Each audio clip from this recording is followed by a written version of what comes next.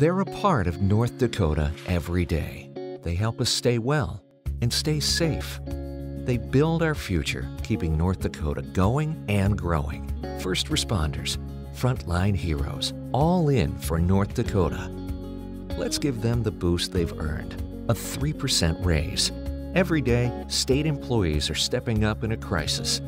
It's time for us to step up and say thanks. They've earned it.